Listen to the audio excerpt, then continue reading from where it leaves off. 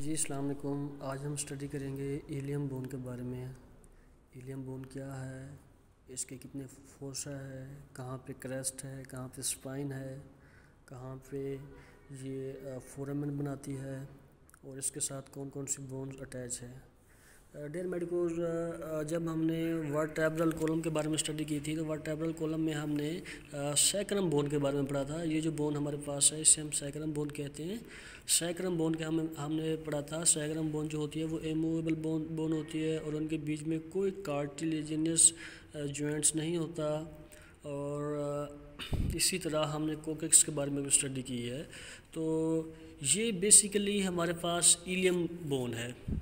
Ilium. Ilium के साथ जो बोन्स अटैच है, उसे हम कहते हैं सैक्रम बोन कहते हैं, ये इलियम बोन है और ये सैक्रम बोन है और बीच में ये एक ज्वाइंट बना रहे हैं कार्टिलेजिनस ज्वाइंट बना रहे हैं। इस बो इस ज्वाइंट को हम नाम देंगे सैक्रो इलिक ज्वाइंट बेसिकली ये सैक्रम बोन है और ये इलियम बोन है। तो ये आपस में ज्वाइंट बना रहे हैं, इसको हम कहेंगे सैक्रो इलिक ज्वाइंट अगर हम बात करें सैक्रो इलिक ज्वाइंट की सैक्रो इलिक ज्वाइंट जो है, ये प्राइमरी कार्टिलेजेनियस ज्वाइंट है, क्योंकि ये मिड लाइन में नहीं आ रहा। हमने स्टडी की हुई है कि जितनी भी ह्यूमन बॉडी के मिड लाइन में ज्वाइंट आएँगे, उनको हम कहेंगे सेकेंडरी और जो साइड पे होंगे, उन्हें हम कहेंगे प्राइमरी तो सैक्रो इलिक ज्वाइंट जो है, ये प्राइमरी कार्टिलेजेनियस ज्वाइंट है, क्योंकि कार्टिलेज बोन के साथ अटैच है तो इस वजह से इसको हम नाम देंगे प्राइमरी कार्टिलेजेनियस ज्वाइंट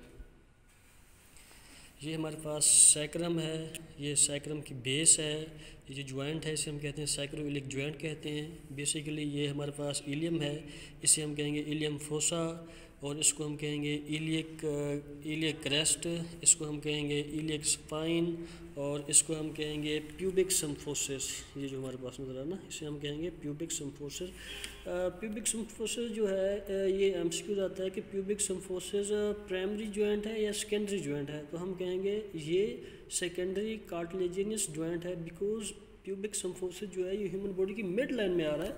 जितने भी ज्वाइंट ह्यूमन बॉडी की मिड लाइन में आएँगे, उन ज्वाइंट्स को हम नाम देंगे सेकेंडरी कार्टिलेजिनियस ज्वाइंट का। उसके बाद ये देखिए, ये हमें ना एक फोरम में नज़र आ रहा है। ये हमारे पास राइट साइड पे है और ये हमारे पास लेफ़्ट साइड पे है।